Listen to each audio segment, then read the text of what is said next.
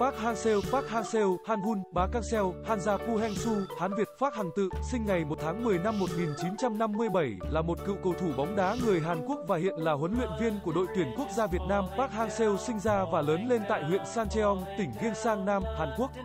Ông từng học tại trường trung học Gyeongsin, Tung Ha Hyo, tốt nghiệp xong cấp 3, ông tiếp tục theo học chuyên ngành nghiên cứu về thảo dược tại Đại học Hanyang, Hanyang de Tuy nhiên, sau khi tốt nghiệp ông đã đi theo con đường bóng đá khác hoàn toàn với chuyên môn được đào tạo, sự nghiệp cầu thủ. Ông khởi đầu sự nghiệp cầu thủ của mình tại đội tuyển trường Đại học Hanyang từ năm 1977 đến năm 1980 khi mới 18 tuổi.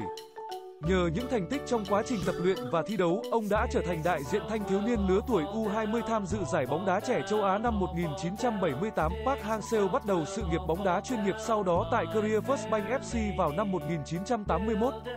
Nhưng vài năm sau câu lạc bộ này đã giải thể. Ông nhập ngũ và thi đấu cho Army FC, hoàn thành nghĩa vụ quân sự. Sau đó ông tiếp tục gia nhập Lucky Gold Star Hwangso, nay là FC Seoul, năm 1984 cũng như ghi bàn thắng đầu tiên trong sự nghiệp vào lưới Jeju United ngày 22 tháng 4 cùng năm. Trong suốt 4 năm thi đấu, ông đã ra sân 99 trận, ghi 15 bàn và là một trong những nhân tố quan trọng nhất góp phần vào chức vô địch của câu lạc bộ tại giải K-League 1985, đồng thời lọt vào đội hình tiêu biểu của mùa giải với 4 bàn thắng và 3 bàn kiến tạo cũng như đạt danh hiệu Á quân trong mùa giải sau đó. Đội tuyển quốc gia ở cấp độ đội trẻ Park Hang-seo từng là đội trưởng U20 Hàn Quốc vô địch AFC Youth Championship nay là giải vô địch bóng đá U19 châu Á vào năm 1978 tại Dhaka, Bangladesh. Ông có trận đấu duy nhất cho đội tuyển quốc gia khi Hàn Quốc thắng 1-0 trong trận đấu giao hữu thường niên với Nhật Bản ngày 8 tháng 3 năm 1981. Tuy nhiên Park Hang-seo đã giải nghệ sau đó vào mùa giải năm 1988. Sự nghiệp huấn luyện viên trong sự nghiệp huấn luyện của mình, Park Hang-seo hay lựa chọn cho các đội bóng mình dẫn dắt phô diễn lối chơi bóng ngắn, phối hợp đến tận cầu môn của đối phương.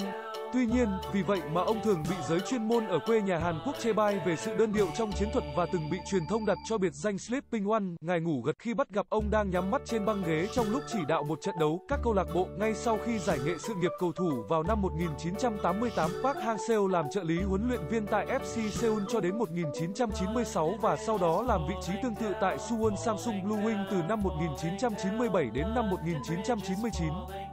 Vào tháng 8 năm 2005, ông đã trở thành huấn luyện viên đầu tiên của đội bóng mới thành lập là Nam FC và giúp đội đứng thứ tư trong mùa giải K-League 2007. Sau đó ông rời đội vì những mâu thuẫn trong nội bộ. Vào tháng 12 năm 2007, ông kế nhiệm Ha Jung Mu làm huấn luyện viên cho Jeonnam Dragon, giúp đội kết thúc với vị trí Á quân League Cup 2008 và thứ đứng thứ 6 tại K-League 2009. Tuy nhiên ông đã từ chức do màn trình diễn kém cỏi của đội. Ông còn bị liên lụy vì những cáo buộc bao che cho học trò trong một vụ bán độ và dàn xếp tỷ số. Nhưng sau đó ông đã được tuyên bố vô tội. Từ năm 2012 đến năm 2015, ông đã dẫn dắt đội bóng quân đội Sangju Sangbu FC. Dưới sự chỉ đạo của ông, đội đã hai lần vô địch giải hạng nhì K-League Challenge vào năm 2013 và 2015.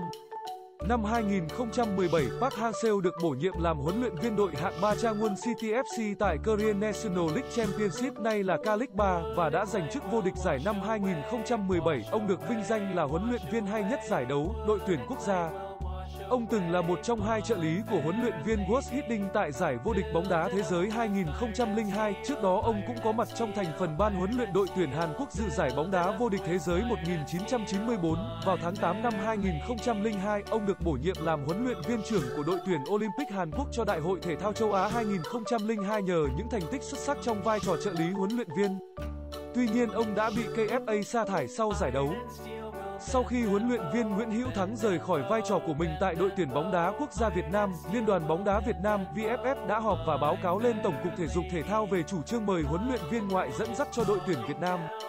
Hai người nổi bật nhất lúc đó chính là Takashi Sekizuka và Park Hang-seo, nhưng vì chế độ đãi ngộ dành cho ông Takeshi là quá cao và quá khắt khe nên VFF đã chuyển sang phương án thứ hai là Park Hang-seo.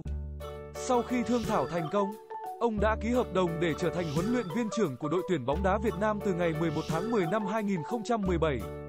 Toàn bộ quá trình từ thương thảo đến khi ký hợp đồng giữa hai bên đã diễn ra trong một thời gian ngắn kỷ lục chỉ trong một ngày, sau khi cùng đội tuyển bóng đá U23 Việt Nam giành được huy chương đồng tại giải M150 Cup 2017, ông tiếp tục dẫn dắt đội tuyển đến trận chung kết tại giải vô địch bóng đá U23 châu Á 2018 và đứng thứ tư bóng đá nam tại Đại hội Thể thao châu Á 2018.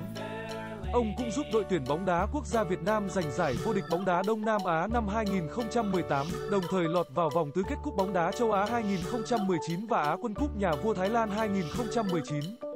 Ông còn giúp đội tuyển bóng đá U22 Việt Nam giành được huy chương vàng đầu tiên sau hơn 60 năm tại SEA Games và vào được vòng loại thứ ba giải vô địch bóng đá thế giới 2022. Với những thành tích của ông tại Việt Nam từ khi dẫn dắt đến nay, VFF đã quyết định gia hạn hợp đồng vào sáng ngày 7 tháng 11 năm 2019 thêm 3 năm cho đến năm 2022. Sau đó vào ngày 10 tháng 11 năm 2021, ông và VFF đạt thỏa thuận gia hạn hợp đồng đến hết 31 tháng 1 năm 2023.